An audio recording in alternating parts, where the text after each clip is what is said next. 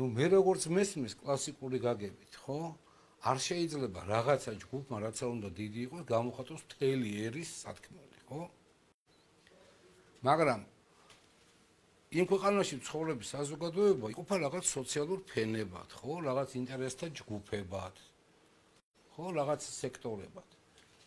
პარტია იმის არის, უნდა გამოხატავდეს რომელიღაცა სექტორის, ან რომელიმე სექტორების რამდენიმესი, არა ყველასე, რაღაც ინტერესებს. და ინტერესის გამოხატვა რაში რაში მდგომარეობს?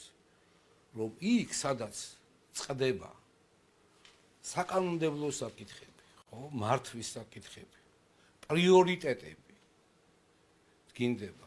აი იქ აი ამ ხალხის ხმა უნდა მიტანო. სხვა პარტიას მოაქვს სხვა სხვა სოციალური ფენის სხვა სეგმენტის სათკივარი და სათქმელი. და პარლამენტია ის ადგილი სადაც აი ამ სხვადასხვა სოციალური თქვა სექტორების ინტერესები ხდება ამათი შეჯერება და რაღაცა ოპტიმალური კანონი გამოდის რომ არ დაზარალდეს არც ერთი არც მეორე ერთი ცხრი იყოს დაცული ერთის ინტერესები და უფლებები და ასევე მეორე მხარის ხარჯზე რო არ ხდებოდეს. ამიტომ მოიგონა კაცობრიობამ პარლამენტი. და ჩვენი პარლამენტი რასაკეთებს? და პარტიული ბრძოლა ეს არის ხატოვანი ხმა არის ევროპაში.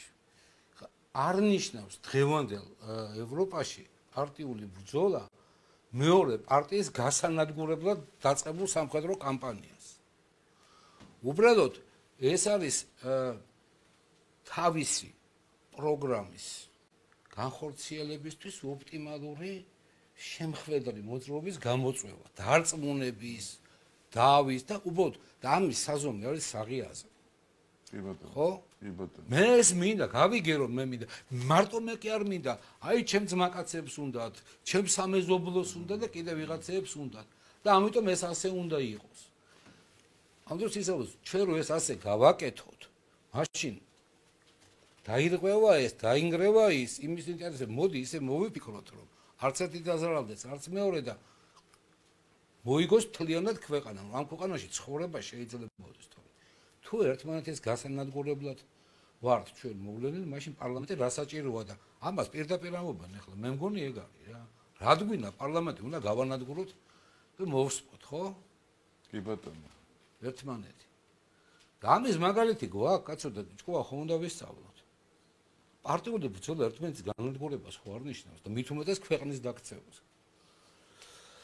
და მე მგონია რომ 9 აპრილი საიდან დავიწყე საწავლით რა მე მგონია რომ 9 აპრილი და ეშენი დაძახილი არის ის რომ ცოტა პოლიტიკოსებმა მოიხედონ ერთი დაანებონ ჩასეცხლენებული თვალებით ერთმანეთის ყურებას და ცოტა გამოიხედონ აქეთ რომ ამ ქვეყანაში მარტო ეგენი კი არ ცხოვრობენ და ეგენი კი არ არიან უმრავლესობა მთელი ეს პოლიტიკური კლასი თავისი იმეებით აქტივისტებით. აქ არის ქართველი ერი სხვა ერებიც საქართველოს მოქალაქეები ხო?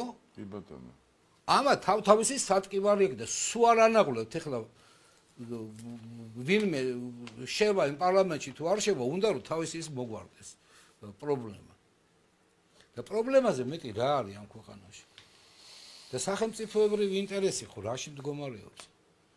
რომ პირველი და აუცილებელი არის ის რომ ჯერ ნახოთ რა გამოწვევები გვაქვს ყველაზე მწვავე რომ ის მოვაგვაროთ იქ ჩავაყენოთ ბარიერები რომ ჯერ უბრალოდ ფიზიკურად გადავრჩეთ ხო?